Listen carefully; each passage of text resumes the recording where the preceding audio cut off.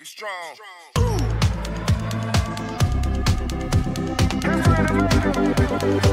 Strong.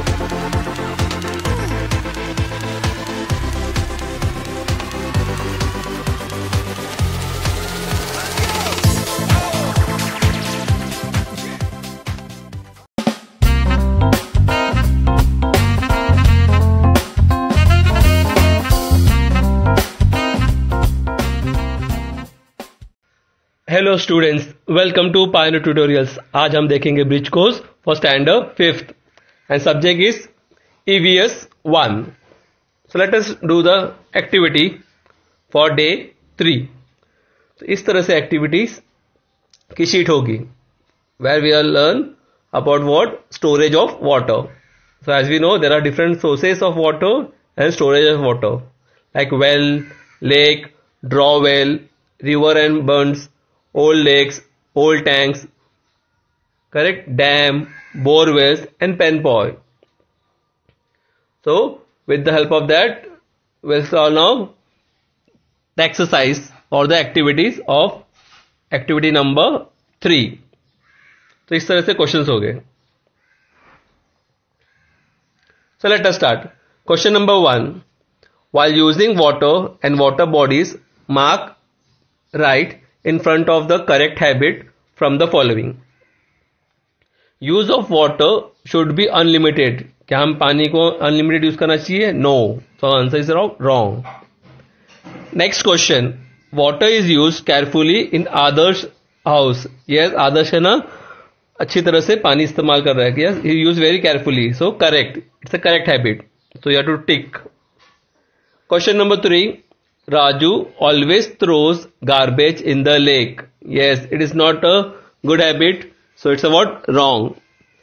Question number four. Mother washes clothes near the river every day.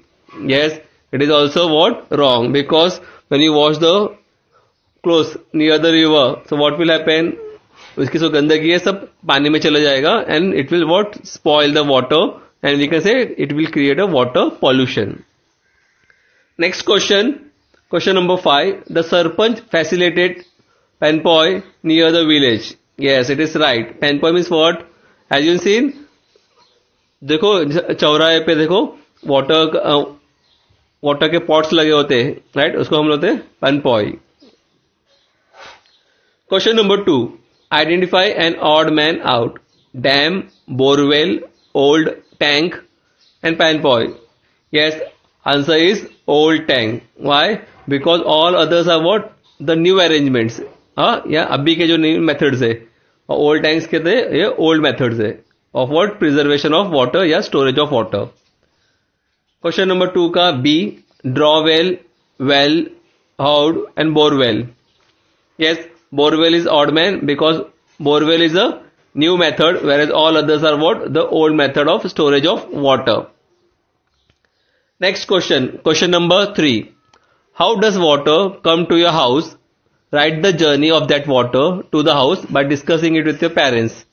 Yes, so we should know how the water comes to a house. So first, water from natural resources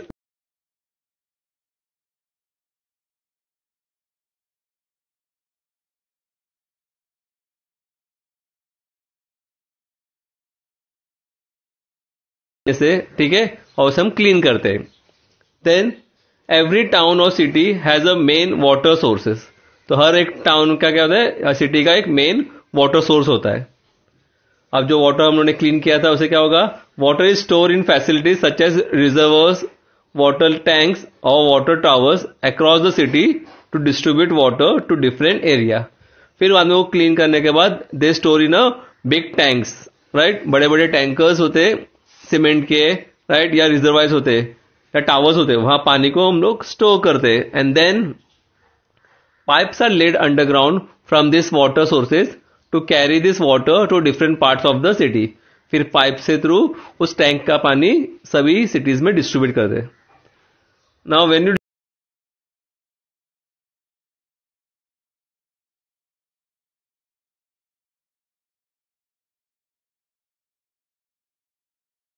घर तक पहुँच जाएगा। So this clean water travels through the pipe to your house या to our house okay go for the next question question number four what good habits must we cultivate in order to use water economically पानी को अच्छी तरह से इस्तेमाल करने के लिए हमें क्या क्या हैबिट अच्छे रखने चाहिए? Yes the first habit is is that if the faucet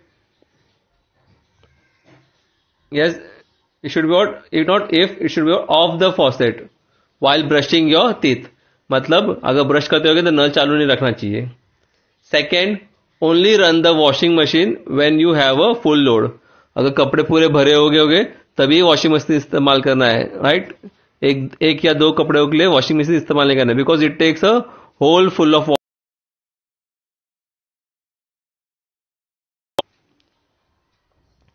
next use a low flow shower head and faucet aerators अगर हम शावर इस्तेमाल करते हैं तो हमें क्या करना चाहिए? लो फ्लो वाला शावर इस्तेमाल करना चाहिए।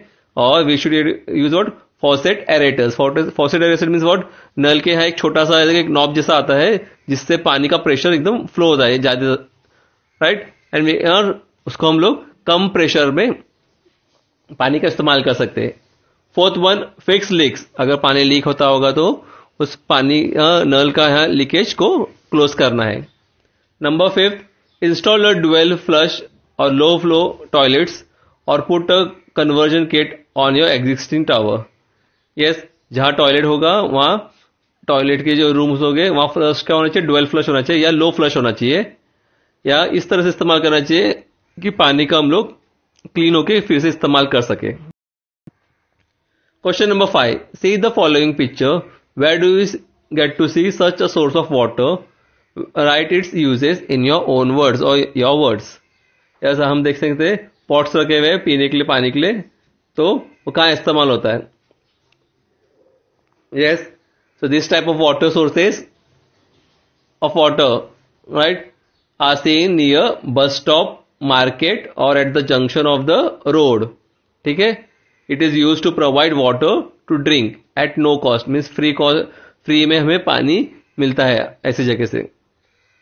यह भी completed uh worksheet now if you like my video do like और click like button comment subscribe and share and share with your friends relative neighbours और a person who need it the most thank you